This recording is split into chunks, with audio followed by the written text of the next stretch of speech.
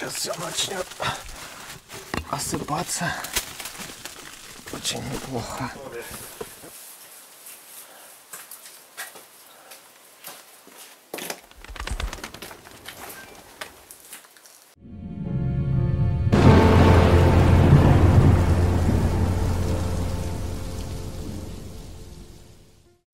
Всем привет, дорогие зрители! С вами канал Underworld и его ведущий Степволф.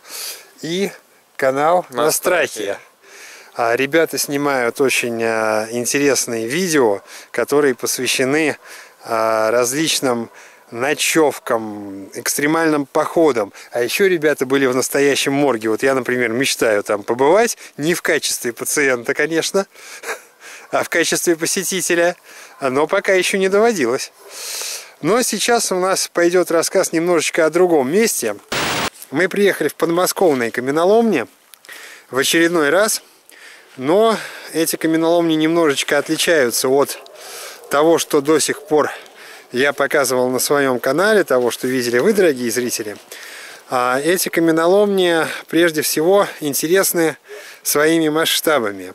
И масштабами не протяженностью выработок, протяженность там не очень большая, а именно размерами самих штреков и отлично сохранившимися крепями. А, и сейчас мы отправимся вниз и покажем вам эту красоту.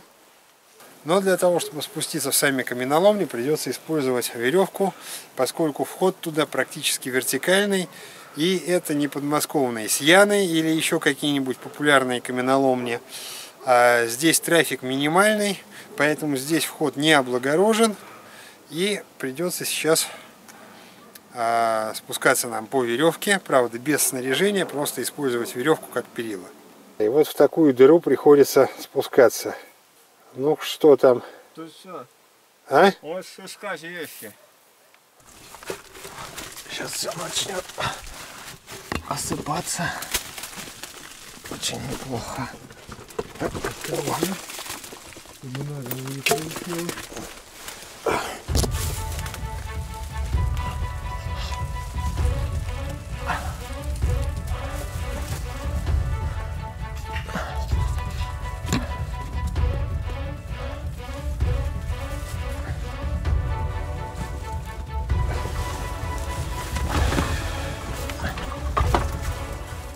А я спущусь ниже. Можешь веревку скинуть? Смотри на рюкзак. Смотрю.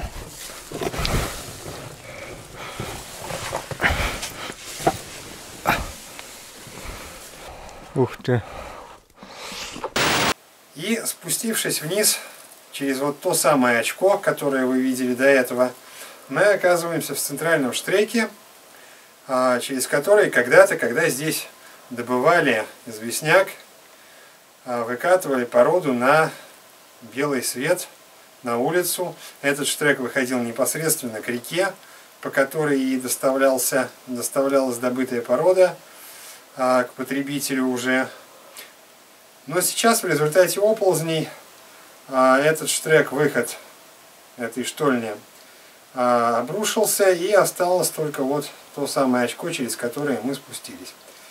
И помимо обвала опасности а, этих каменоломен, то, что здесь обрушается порода, еще стоит обратить внимание, что здесь навалено крепи повсеместно.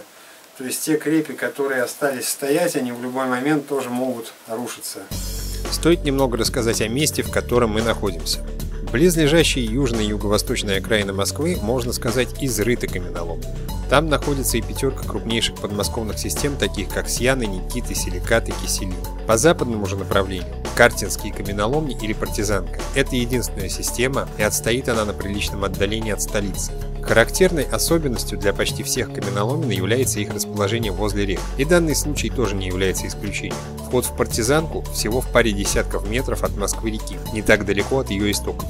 Протяженность доступных выработок не слишком большая. Система является очень обвалоопасной, поэтому значительная часть штреков недоступна или труднодоступна из-за образовавшихся завалов. Причем такая же ситуация была и во времена, когда в ней велись разработки. Это хорошо видно в местах, где в штреках, имеющих примерно одинаковую высоту, внезапно встречаются участки, где высота потолка значительно увеличивается, и своды ее в таких местах поддерживают крепи. установленной еще при разработке каменолома. К слову, это, пожалуй, единственная система в Московской области с почти повсеместно сохранившимися деревянными крепями. Фауну мы здесь пока не встретили, но местная флора нас уже встречает. Такой симпатичный мухоморчик и обильно-обильная растущая плесень. Не часто можно встретить такие узоры плесени живописные. Ну а мы отправляемся сейчас вглубь системы. Здесь обильный завал из сгнивших крепей. А вот это, скорее всего, справа блок выработки. То есть вот здесь вот как раз извлекали таким образом камень и отсюда вывозили на поверхность. А вот там очень интересное приспособление. Сейчас я приближусь немножечко. Вот интересная металлическая конструкция. Вполне возможно, что она оказалась здесь уже в наше время, но с другой стороны сомнительно, кто и зачем ее сюда притащил. Если следовать логике, то вот эта конструкция здесь должна была остаться с времен разработки этих каменоломен. Эта система достаточно обвалоопасная. И вот это вот наглядная иллюстрация того, о чем я говорил. То есть здесь просто верхний пласт рухнул и рассыпался на более мелкие куски породы. По мере продвижения вглубь каменоломни а, заметили штрек, где достаточно хорошо сохранились крепи, практически на всем протяжении, но ходить под ними не очень приятно. Да, вот обвальный участок. И что делать? Мы, в принципе, наверное, попробуем пройти вперед. Он, кстати, хорошо видно, как кусок породы просто висит. Ждет моей головы, да? Да, и ждет, когда он на кого-нибудь грохнется. Пойду попробую счастье.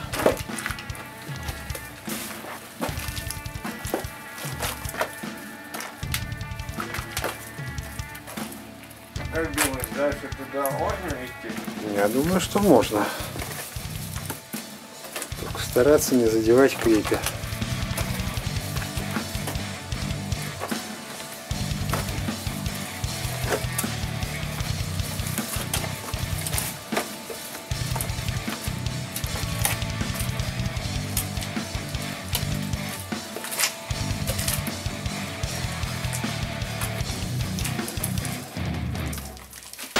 Сейчас мы увидим полость достаточно просторную, образовавшуюся в результате обвала породы. И вон какой нехилый кусочек тоже висит и ждет своего часа обвалиться. Вот сюда посмотри. Вот это вот все оно уже. Да. И под этим всем мы шли. И плюс грунтовые воды, конечно, делают свое дело.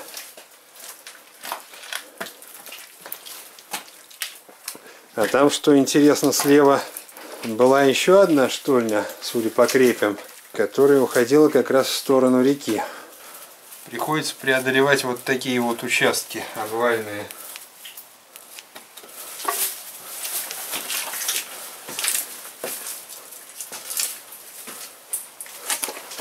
И, конечно же, грунтовые воды делают свое дело. Вот здесь вот, где наиболее интенсивен водокап, в таких местах и происходит обрушение породы.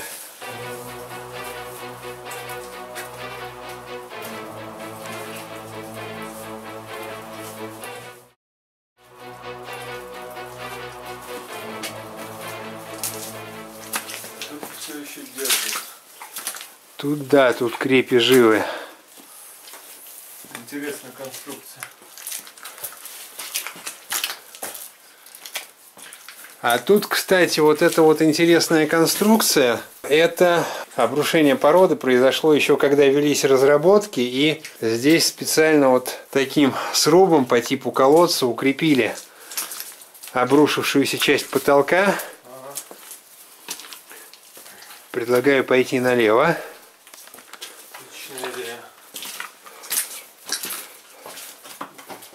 Вот это камешек валяется.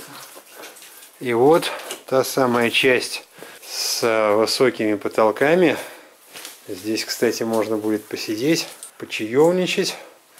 Вот такие вот масштабы встречаются в этих каменоломнях. Здесь потолки а, более трех метров, три с половиной, наверное, метра возможно. И это не единственная часть, где а, такие высокие потолки в этой системе. И судя по крепям, которые поддерживают этот потолок, а, вот это место, оно имело такие размеры и в те времена, когда каменоломни были рабочими. Ну а мы решили остановиться на привал, как раз в этом самом гроте, и немножечко почаевничать.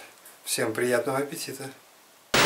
Мы пришли к очередному тупику, где когда-то шла выработка, вот здесь она заканчивалась, то есть вот в этом месте разрабатывали породу, и видно вот здесь вот в земле снизу отколотый кусок камня, то есть вот такими блоками этот камень отбивали и вывозили уже из каменоломен на поверхность.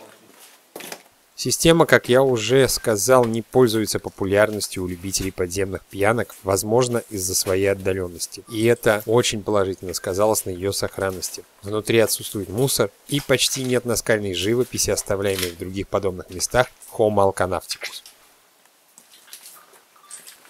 Ходить здесь, конечно, по вот этим вот каменоломням крайне неудобно. Помимо всего прочего, здесь еще очень скользкие натеки из глины. И вот этот вот штрек имеет весьма приличную высоту, но, видимо, уже из-за а, обвалившейся породы, потому что большинство крепей не достают просто до потолка. Мы отправляемся сейчас на выброску. Давай. Пошел. Так, ну все. Нет, наверное, я рюкзачок тоже оставлю. Оставляй.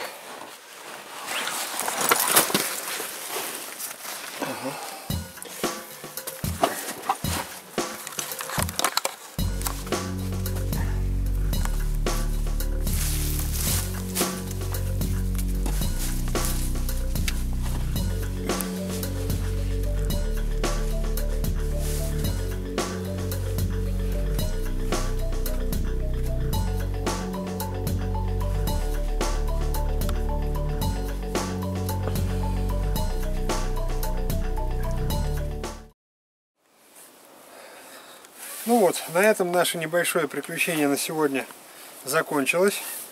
И мы сейчас отправляемся по домам. Но хочу сказать пару слов, что система, хоть она и достаточно небольшая, очень понравилась. Очень атмосферное место. На этом я с вами прощаюсь. Дорогие друзья, не забудьте подписаться на наш канал, если вы этого еще не сделали. Ну и ставьте лайки. Всем пока и всего вам самого наилучшего.